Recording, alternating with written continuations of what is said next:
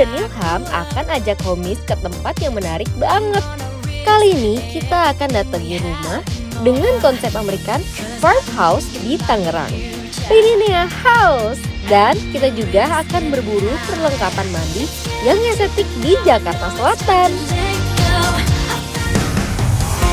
Halo homies, kembali lagi bersama aku Ilham dan Glenda di Home Sweet Home. Pagi ini aku berada di Ririneal House nih.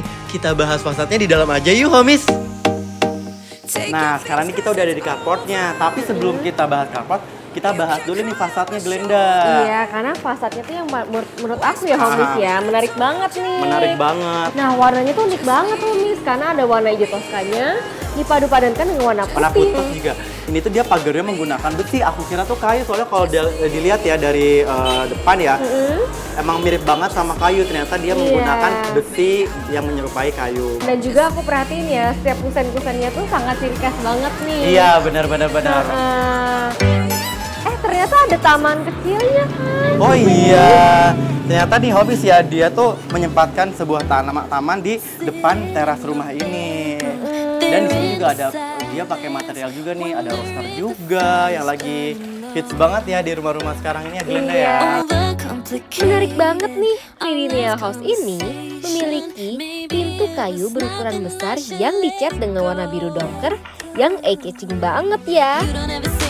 Kamu penasaran gak sih kayak apa sih dalamnya? Iya, karena dari pintunya aja udah unik banget nih homies. Kita Yuk. masuk yuk. Misi. Halo, selamat pagi Kak. Perkenalkan aku Ilham. Aku Glenda. Kita dari Home Sweet Home, pengen lihat-lihat rumahnya boleh? Oh, Kita masuk yuk, ya. Homies. Ayo homies. Nah, kita udah ada di ruang tamunya nih Glenda. Dari luar aja tuh warnanya tuh kan udah mencolok banget nih, tapi masih masuk pun nggak diaplikasikan di dinding, tapi di furniture-nya nih warnanya. Kak, ini diameternya berapa sih? Jamnya gede banget. Eh, jam dinding ini diameternya 150 Oh, 150. ya. Juga ini bahannya kayaknya dari besi betul. Oh, dari besi Oh, ini ya, custom? Kak, ya? Aku custom di salah satu Jepara gitu.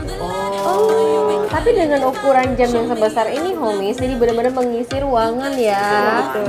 Kalau kakak emang dari awal tuh pengen nampilin rumahnya style American Classic gitu ya? Kalau saya sih sebenarnya pengennya American style, tapi suami sebenarnya pengennya ke industrial industrial gitu. Oh, malah industrial pengennya ya. Agak berbeda sekali ya, homies ya.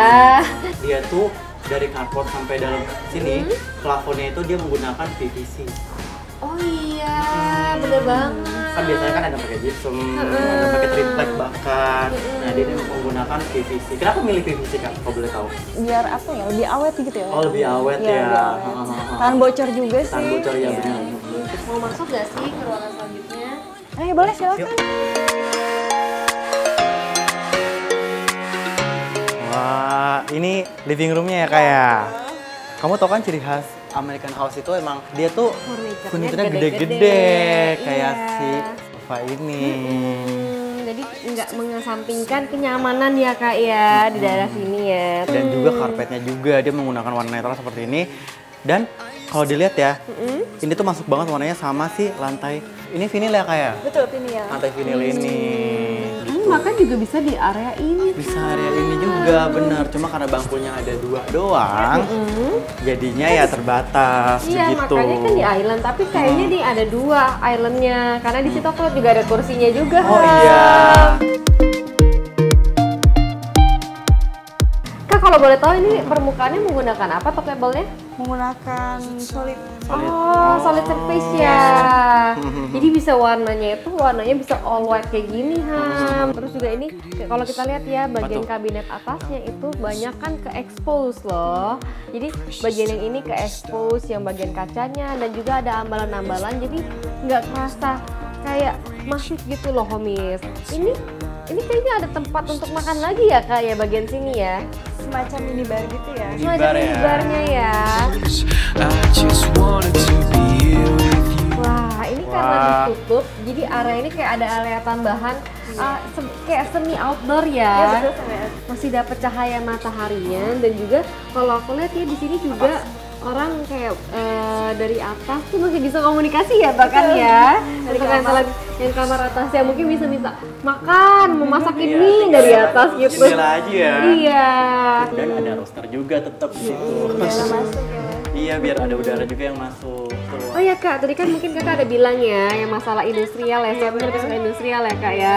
Mungkin baru bisa diterapin di bagian sini ya. Banget ya. Di pojok sini ya ternyata Iya, ya. iya. Jadi masih ada yang motif, ada ando yang motif yang pakai semen expose di gini, tapi masih dicoba untuk masuk ya dengan ruangannya, dengan pajangan-pajangannya ya kak ya. Oh ya kak, aku kan banyak banget nih lihat ini tuh dipakai di rumah-rumah juga ya Ham Iya, ya. banget. Ini cara pasangnya tuh gampang nggak sih kak? Gampang. Gampang ya? Buka pasang aja kak. Jadi Oh, dicopot. dicopot gini Iya. aja ya. Nanti untuk pasangnya tinggal dicekrek cekrek aja. Dan ini nyambung semuanya ya kak ya. Dan menyesuaikan ukuran. Jadi bisa diisikan juga kak. Oh iya. Ini aku penasaran deh kak, kenapa ada tangga kecil di sini ya? Oh iya, karena kan aku punya anak-anak ya kak ya. Jadi untuk step pertamanya itu biar nggak terlalu tinggi. Oh, iya, tapi emang terlalu tinggi sih ini Iya. ya. Oh, tinggi banget ya Homis ya. Kayak tangganya. Wah, anak kecil sih emang agak bahaya ya. Iya. Dia emang harus ada tanda tangga kecil kayak gini. Jadi penasaran nggak sih Homis tangga duanya kayak gimana? Penasaran sih aku kayak Penasaran gimana. kan? Eh, tapi jangan ke mana-mana ya Homis ya. Tetap di Home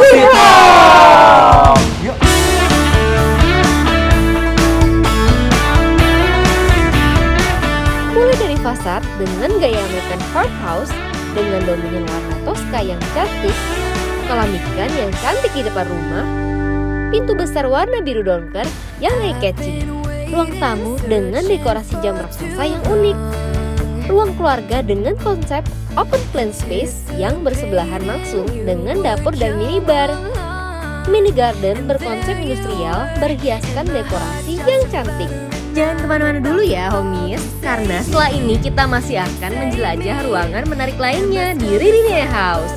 Tetap di Home Sweet Home.